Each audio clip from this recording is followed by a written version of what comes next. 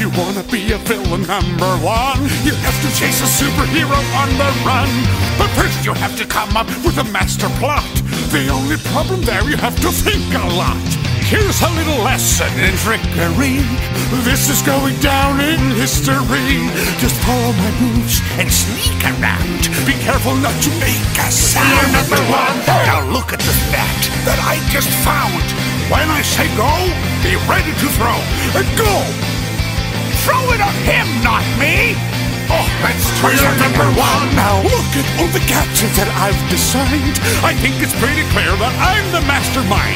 Be very, very, very, very careful. Don't touch a thing. You'll never know the problems it could bring.